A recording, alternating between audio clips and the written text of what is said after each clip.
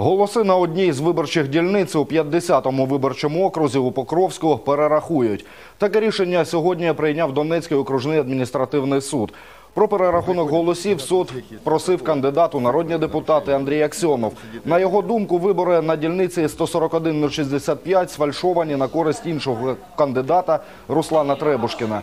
Про підробку протоколів з результатами виборів 24 липня заявила голова цієї дільниці Тетяна Романова.